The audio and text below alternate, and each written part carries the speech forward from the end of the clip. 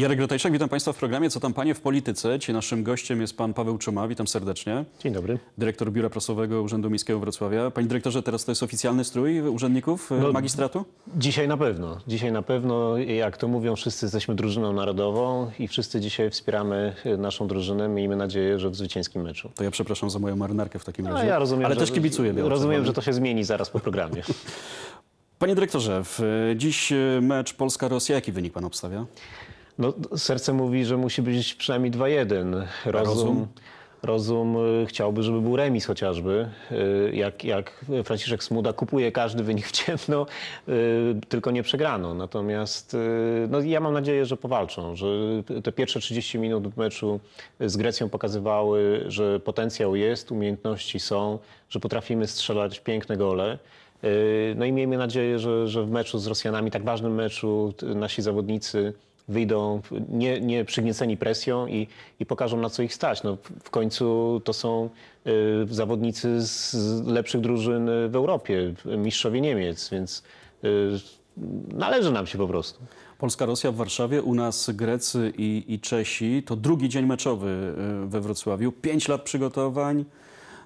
Drugi mecz meczowy, tak jak powiedzieliśmy, wszystko zapięte, dopięte na ostatni guzik? Jak to się mówi, pełna operacyjna gotowość miasta i wszystkich służb, które są zaangażowane w organizację Euro. Rano odbyło się posiedzenie Miejskiego Sztabu Operacyjnego. Wszystkie służby w pełną gotowość tam zameldowały. Po doświadczeniach z piątku wiemy już mniej więcej, jak to chodzi, jak to funkcjonuje. Zostały też wyciągnięte wnioski z, z tego, co się działo. Na przykład komunikacja miejska ta na stadion ruszy trochę wcześniej. No ale i też i wszystko, jeśli chodzi o komunikację, działo się tak jak trzeba. Zresztą wskazują na to także oceny sondażu, który już został publikowany, robionego przez PBK, kibiców spoza granic Polski, którzy uznali, że komunikacja we Wrocławiu, i to były oceny pozytywne na poziomie 60 paru, 70 procent, że komunikacja miejska chodzi jak najlepiej, chodzi tak jak trzeba, że na stadion można było dotrzeć bez żadnego problemu, że pojazdy komunikacji są komfortowe, że tempo jazdy było odpowiednie. No to są dla nas bardzo... Już są takie świeże badania? Tak, takie mamy takie badania dokładnie z tego piątkowego A strefa kibica w rynku jak została oceniona? No Bo i to tu jest, różne głosy są. No więc to, to z punktu widzenia kibiców, którzy przyjechali do nas z zagranicy, yy, oceny wypadają po prostu fenomenalnie. Yy, ponad yy, 80% kibiców uznało naszą wrocławską strefę jako ekstra miejsce. Doceniają przede wszystkim atmosferę i to, co nie podoba się niektórym wrocławianom, czyli lokalizację. Czyli uznali, że właśnie to, że zdecydowaliśmy się zrobić tą strefę kibica w centralnym miejscu Wrocławia, na wrocławskim wspaniałym rynku, że to był strzał w dziesiątkę. No niektórzy twierdzą, że to, to był błąd, że, że rynek i tak by się obronił, to jest nasza wizytówka, tą strefę powinno się zrobić gdzieś obok rynku. No i to nie do końca tak wygląda, bo już te oceny pokazują, że mieliśmy rację podejmując tę decyzję. Już to także analizy, które były przeprowadzane wcześniej. Wrocław ma tą specyfikę, że rynek jest swego rodzaju magicznym magnesem. Który, który bez względu na to, jak byśmy organizowali tą imprezę, i tak by tych kibiców przyciągał, czego dowodem była próba niezorganizowania jednego roku Sylwestra na wrocławskim rynku, a i tak wrocławianie i mieszkańcy aglomeracji na ten rynek przyjechali i tu chcieli świętować wspólnie tego Sylwestra, co spowodowało, że już w każdym kolejnym roku Sylwestra robili, robiliśmy. I tak samo byłoby pewnie z kibicami. Tyle tylko, że taka masa kibiców na centralnym placu miasta, bez ochrony, bez specjalnej organizacji, no to jest oczywiście automatyczny wzrost zagrożenia, niebezpieczeństwa, czego dowodem jest choćby to, co się działo na poznańskim rynku, gdzie doszło do bijatyki z użyciem mebli i wyposażenia lokali gastronomicznych i, i na szczęście błyskawicznie to zostało opanowane, ale, ale zrobiło się niebezpiecznie. No, u nas bijatyka co prawda mniejsza, ale za to była na stadionie. Ale no, rozumiem, że to, już jest poza miastem. Tutaj jest, władze znaczy, ma UEFA i to do nich to, że, że, że to jest w gestii UEFA, to no, skala tego była naprawdę niewielka, zjawisko nieprzyjemne na pewno dla, dla tych stewardów, których to dotyczyło. Trwało kilkanaście sekund, więc no, a na stadionie mieliśmy ponad 40 tysięcy ludzi, w związku z tym mówię, z jednej strony nieprzyjemne dla tych osób, których dotyczyło to, z drugiej strony ze statystycznego punktu widzenia incydent kompletnie nieistotny. Nieistotny, bo na szczęście nie doszło tam do tragedii. Ale, Dokładnie. ale zostawmy ten przypadek. Wróćmy do, do tych wniosków. Mówił pan, że wyciągacie wniosku po, po, po piątkowym e, spotkaniu. Czy te wnioski dotyczą też strefy kibica w rynku? Ta strefa kibica w piątek dość szybko się zapełniła, została zamknięta.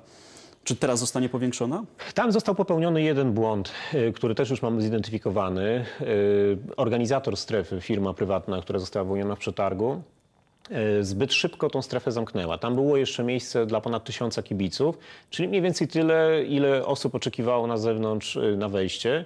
Y, Strefa, no, b- b- firma, która zgodnie z ustawą bierze na siebie odpowiedzialność za to, co się dzieje w strefie, wystraszyła się y, tak y, dużego tłumu y, i tą strefę zamknęła. Ale decyzją władz miasta strefa została otwarta i te dodatkowe tysiąc osób zostało wpuszczonych i to y, problem kompletnie rozładowało. Pamiętajmy też o tym, że mamy dwie strefy y, zapasowe. Jedną przy ulicy Lotniczą, Lotniczej, drugą strefę przy hali stulecia. I tam z rynku można szybko dojechać? Oczywiście, że tak. No, y, na lotniczą to jest dokładnie ta sama komunikacja, która y, jedzie na stadion, więc tam tej komunikacji jest naprawdę niezwykle gęsto, bo są i dodatkowe dwie linie y, tramwajowe, i dodatkowe trzy linie autobusowe, w tym kontibusy tak zwane, więc dotarcie w rejon tamtej strefy kibica nie nastręcza najmniejszych problemów. W drugą stronę także jeżdżą co najmniej trzy linie tramwajowe, o ile ja dobrze pamiętam, bo, bo i dziesiątka, i 33 y, plus i czwórka, więc y, łatwo się dostać y, w rejon hali stulecia.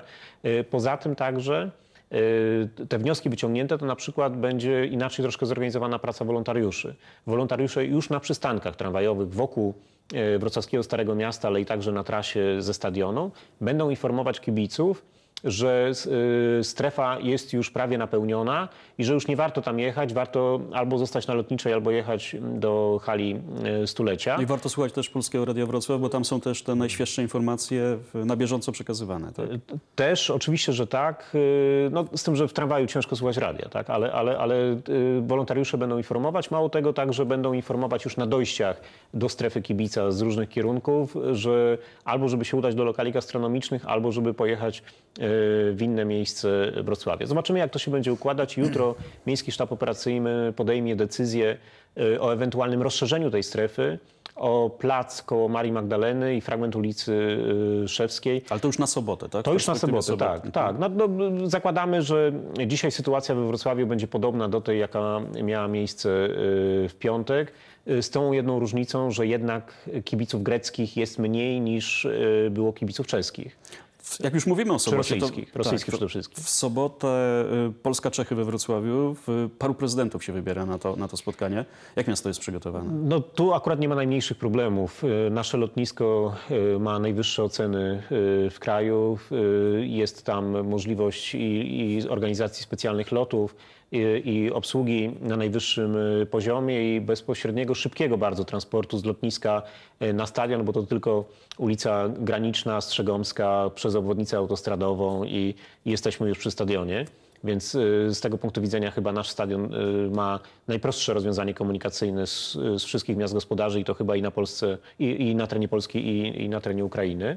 Y, Na stadionie oczywiście VIP-owskie y, loże dla głów państw są przygotowane, nie ma Kto tu będzie, żadnego powiedz? problemu.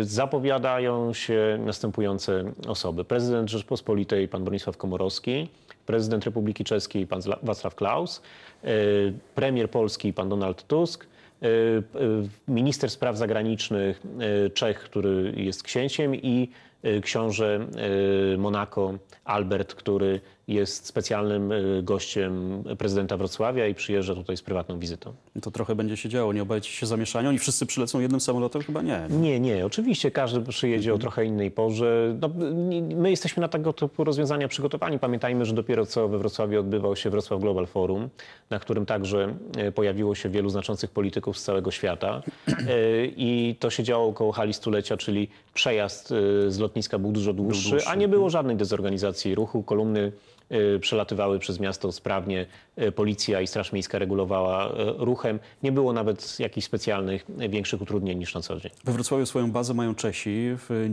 Nie szkoda, że nie szkoda miastu, że tylko Czesi są we Wrocławiu? Znaczy my jesteśmy zachwyceni, że Czesi są w naszym mieście, y, bo to dodatkowy magnes dla czeskich y, kibiców, a i ich oceny naszego miasta y, też są bardzo wysokie i one pójdą oczywiście do naszych południowych sąsiadów, którzy miejmy nadzieję liczniej y, będą odwiedzać Wrocław.